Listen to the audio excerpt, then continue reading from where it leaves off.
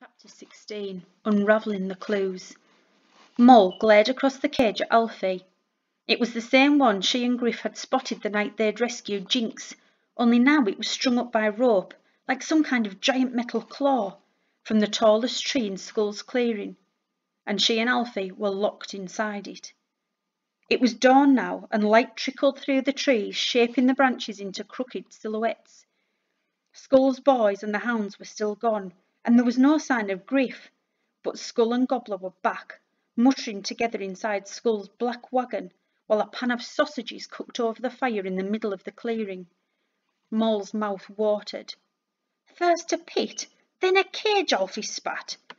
Were you this much trouble in your camp? Moll was, so she didn't bother answering.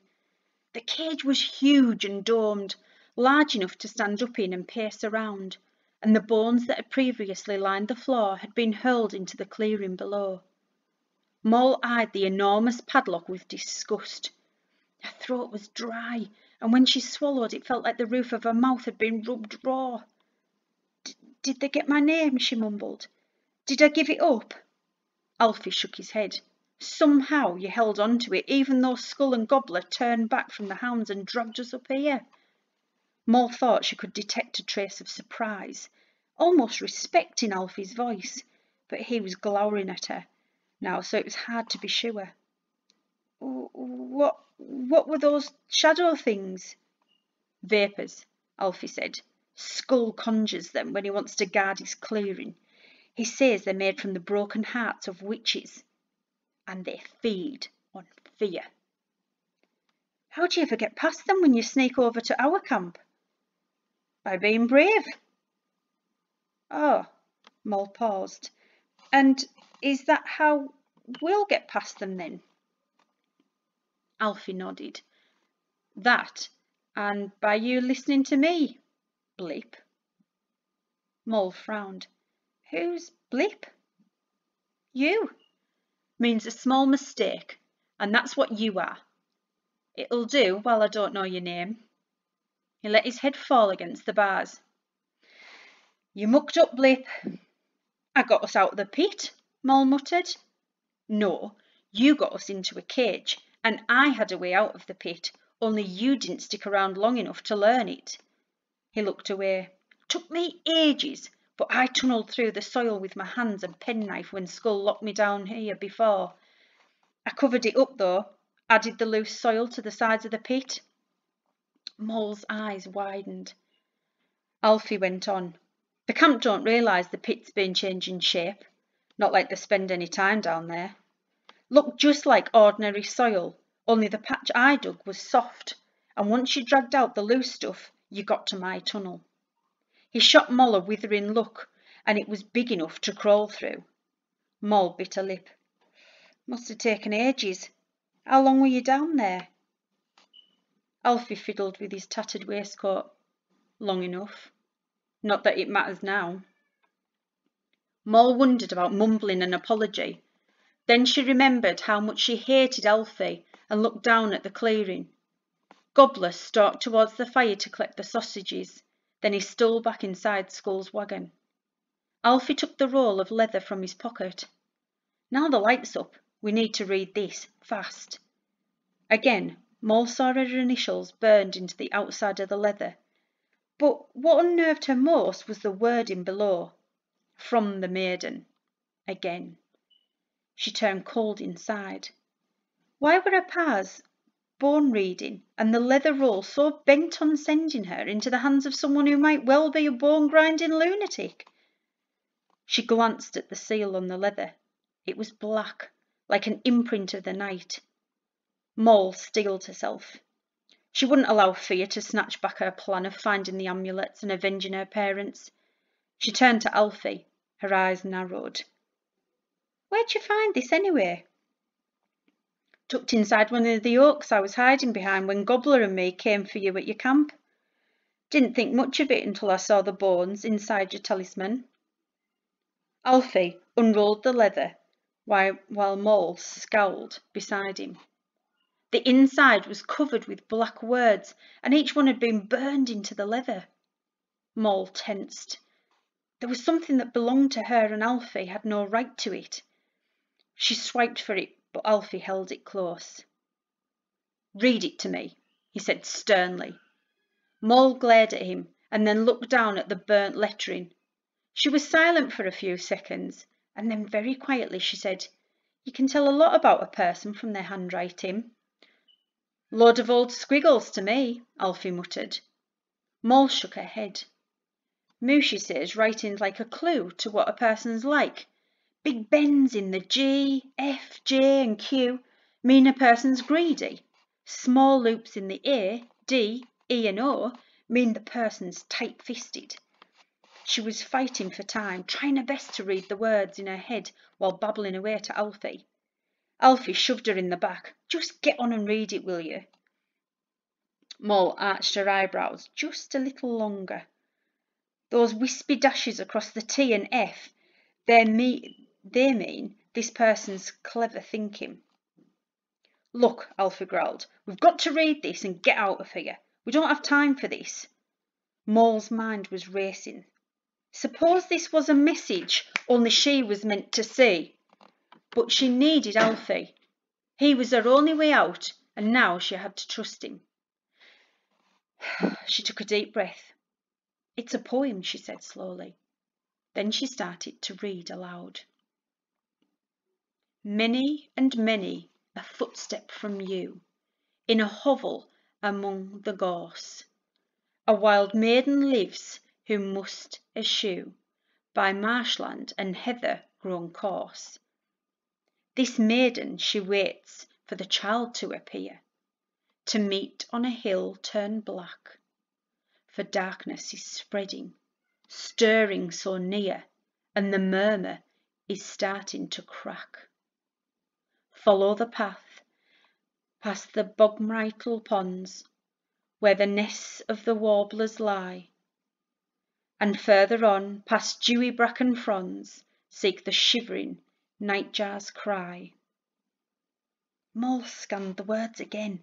The dew, the hill, the maiden, it was all there, just as her pa's bone reading had said. And this maiden, whoever she was, was calling for the child to appear. It had to be about her.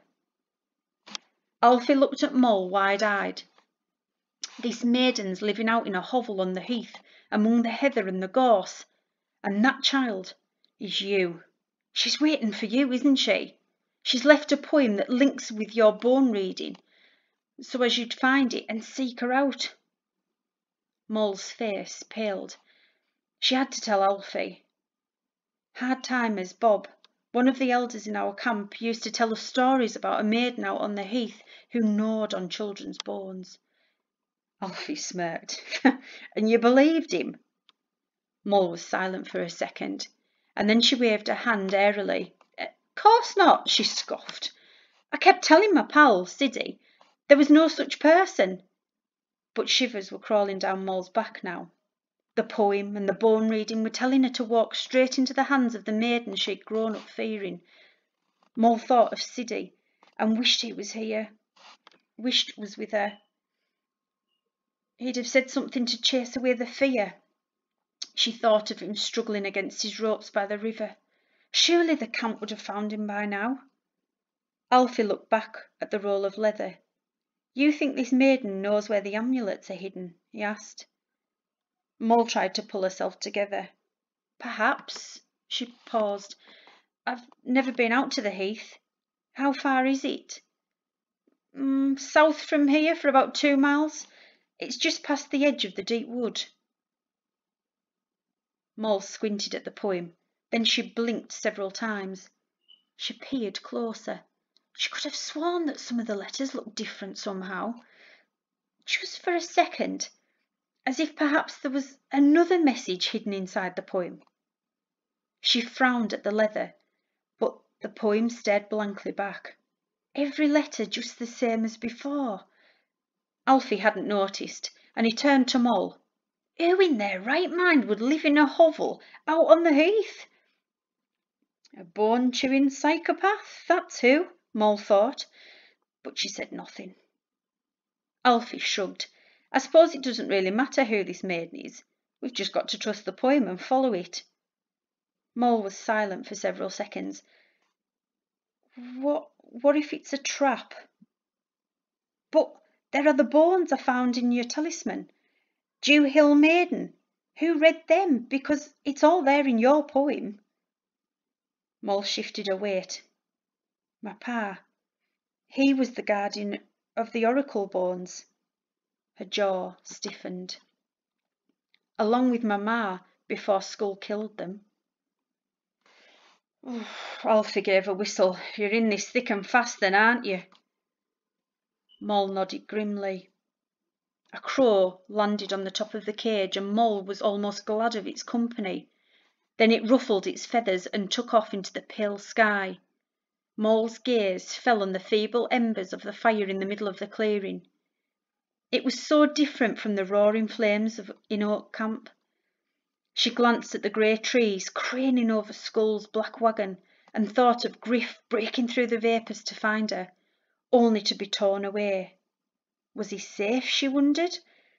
Would he even try coming back for her now he knew what lay in wait in the deep wood? Alfie looked at Moll. I didn't believe in the bone murmur for years. Thought it was a load of old rubbish. He paused. Then I saw your wildcat. Moll's stomach flipped. Something about the way he looked when he burst from the bank, like like he'd do anything to keep you safe. That's not normal. He's something, that wildcat. Alfie turned his penknife in his hand, then his eyes sparkled. Maybe he'll help us find the amulets. Then we'll be rich and free. Moll could feel, feel tears stinging the corners of her eyes. What's it like knowing a wild animal, one who hasn't been tamed by humans before? Moll swallowed. It is the closest thing I've got to family, aside from Oak and, and Mooshie. Alfie looked away. Wouldn't know. Haven't got a family. He worked his knife over the ropes that bound Moll's wrists, and they fell away. Then he knelt down before the padlock and, as the cage creaked and swayed, he looked up at Moll. Lucky for us, I might know a way to get out of this. Moll shoved the leather roll into the pocket of her dress and crouched before the lock. Then she jumped back from the bars. Dark shapes were crossing the clearing towards the cage. Could it be Oak and the others? Had they beaten their way past the hounds and came and come back for her after all? But as they grew closer, Moll realised the shadows weren't Oak and her friends. They weren't even people. Far below, Moll and Alfie, eyes burned into the early morning light, wolfish and untamed, and jagged teeth shone stained with blood. There were four of them, and their muscles bulged out of their black coats as if they could barely contain their own strength. Chains still hung from their collars. Even Skull's boys hadn't dared untie them. And they circled the cage, growling. Brunt appeared through the watery sunlight, seizing the hounds by their chains, and Moll rebound her wrists. He wrenched the catch on the rope and held the cage, and it crashed down into the clearing. Moll was smashed against the side, her spine grating on the metal. Brunt thumped two bowls of lukewarm porridge through the bars. Then the hounds stalked up close, their teeth like rows of broken glass, and Moll and Alfie cowered in the middle of the cage, their eyes glazed with fear.